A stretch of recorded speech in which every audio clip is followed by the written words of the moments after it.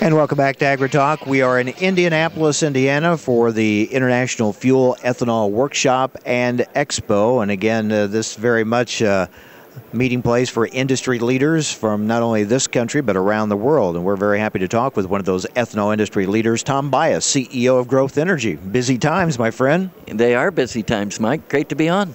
Good to be with you again. Let's talk about.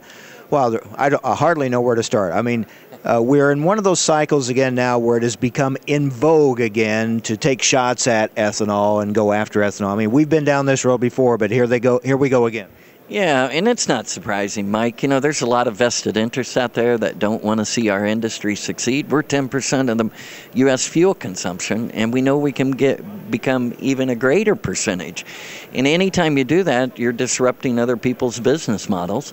They're going to fight back. Uh, we we certainly understand that. I think this industry caught everyone by surprise. They never thought we'd get to 10% so quick, and now it's they're having this oh my moment that well we got to stop them because they can go even further, and we will. Now we're on this whole issue of you know Congress looking at trying to pull supports away from ethanol. It's it's amazing to me and frustrating that the industry, ethanol industry's willingness to be flexible on this and to take the money from support and and a put money towards deficit reduction and b transition to more infrastructure development and things like that for some, that gets no traction, no credit at all given to an industry that's willing to take cuts and put it towards deficit reduction and move on. Yeah, we may be the only industry in America that's actually gone to Congress with a plan that said we can do more with less and we can still move this industry forward and help America reduce our dependence on foreign oil. I think it is getting traction. I think uh, a lot of people read a lot more into those votes over the last couple of weeks than actually uh, they should. You know, uh, a lot of those votes were symbolic. They were wrapped up in this bigger, broader uh, debate over how do you get the federal deficit under control. Uh, do you do it with tax cuts? Do you do it with spending reduction? Uh, but I, I, think everyone in Congress certainly understands. We still have a few uh, uh, members that don't quite get it. Uh, but uh, again, we all knew this legislation was going nowhere. It was unconstitutional. Um, if it had passed the Senate, but it didn't even pass the Senate. Now we roll up our sleeves, we find a legislative vehicle, we work with the administration, the House, and the Senate, and do the right public policy, which is what we all, that's our goal. I think what some people in agriculture don't realize too, they say, well, they're going after ethanol. Really, farm support, ag support in general, really under the microscope now and uh, target on their back. So I think people not, need to take a little broader look at this. Yeah, I, I tell people all the time, Mike we may have been first that they went after, but we're not the last, and it's going to occur. And you know, I think the debate will get around to uh, equity within the energy tax uh, issues. You know, all right, if the ethanol industry, if we're going to reform them, what about oil and gas? What about coal? What about nuclear? What about all these other energy sources? And um, again, you know, to get the deficit under control, I think they're going to have to look at all that. Uh, uh, but yeah, we're, we're going to keep plugging. Uh, uh, everyone say a prayer that we can get Congress to pass uh, something that gets signed into law. Um, and uh, I think we'll see significant progress being made. Now, we look at uh, some things that have happened, and this is an international conference we're at now, but the G20 ag ministers recently said, hey, no real evidence of linking biofuel production with uh, food price volatility. Oh, Mike, because you and I have talked several times. Uh, it may be the biggest lie I've ever heard in Washington, and there's been some whoppers told out there over the last 25 years that I've been there. Uh, it, this whole food versus fuel thing, you know, uh, again, the feedstocks that we currently use, that's not what people eat on a daily basis unless they got some good grinding teeth. You know, this not canned corn, sweet corn, popcorn, or even candy corn. This is animal feed, and, and our byproduct, as you know, the only thing we remove is the starch. You end up with all the protein, all the oil, all the fiber back in a, in a high value animal feed. So, uh, intellectual people actually understand that, uh, but we're in, we're in a fight. We're in a fight over perception. And food versus fuel is an easy charge to make. It takes us several minutes to explain why it's not true. But that's why we're partnering with NASCAR and others, get that message out there. uh, talk about the benefits of American ethanol, the jobs, the reduction in greenhouse gas emissions, better, cheaper for consumers, revitalize our rural economies, and finally, finally, after 40 years, do something to reduce our dependency on foreign oil.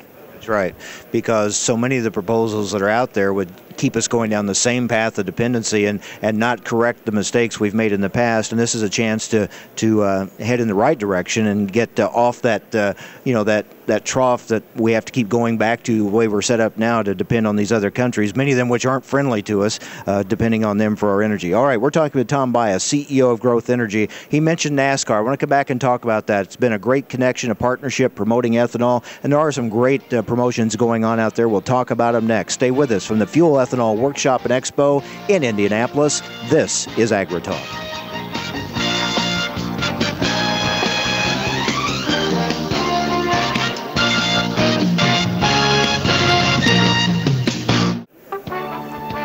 Welcome back to AgriTalk. We are in Indianapolis at the Fuel Ethanol Workshop, talking with Tom Buis, CEO of Growth Energy. All right, Tom, great partnership with NASCAR. You've got a lot of good promotions going on. Yeah, we're really excited about the partnership with NASCAR, Mike, because you know they, they have a lot of loyal followers. Uh, about 100 million people follow NASCAR. And it's such a great message for us because it's racing, they need fuel. Ethanol is a high performance fuel. What they've found uh, overwhelmingly, if you talk to the people in the garages and the mechanics and the engine engineers, is they got higher horsepower, better performance. They're not, eh, the, the mileage uh, issue is uh, pretty much a non factor. And, you know, there's a lot of people out there that have been fed this uh, misinformation that think, oh my gosh, this is bad for my car. We all know it's not.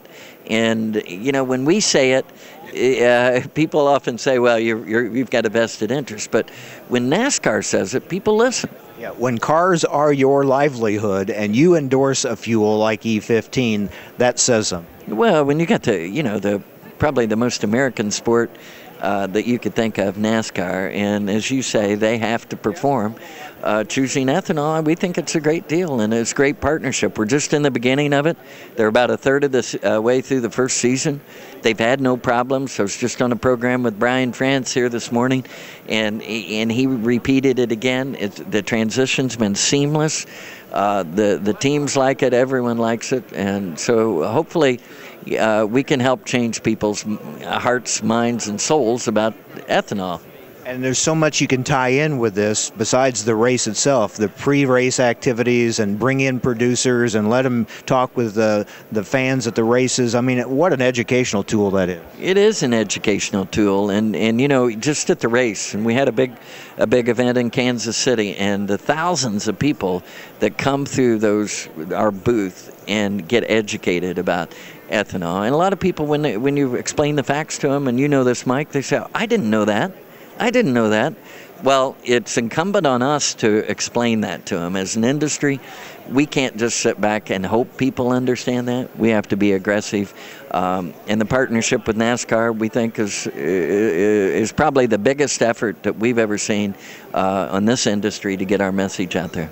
I know you at Growth Energy, you've been very aggressive in, in reaching out, getting the message out to people it's important. You can't let your critics define you, or they define you based on misinformation. Food versus fuel, international indirect land use. We've seen all this. Uh, I still get hit uh, by people all the time and saying, "Well, you, you, use more energy to produce ethanol than than you end up with, which is uh, hogwash."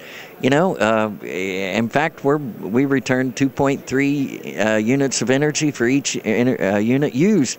Uh, compare that to gasoline, which at best is one to one. I saw that very thing brought up in a major newspaper in this country, another article quoting that same old tired myth that's so inaccurate. It's amazing the people that are against ethanol, they will not let facts get in the way of their opinion. they don't. You know, in Washington, uh, 90% of any battle is perception. And uh, yeah, they listen to their, their constituents. And what we have to do a better job as an industry is getting our message out there. And, and, and it takes resources because the vested interests that don't want to see us succeed, they have pretty deep pockets. so uh, this is a good kind of a rallying point to get everyone caught up on some of the issues and kind of get ready to move forward from here. It is. And, and, and you know, we're going to win this fight. Uh, just as as you mentioned, we've been through these struggles before. Uh, we just have to keep our, our nose to the grindstone and keep moving forward. Very good. Good to see you again, my friend. Good to see you, Mike. Thanks. Tom Buis, CEO of Growth Energy, as we broadcast here from the Fuel Ethanol Workshop and Expo in Indianapolis.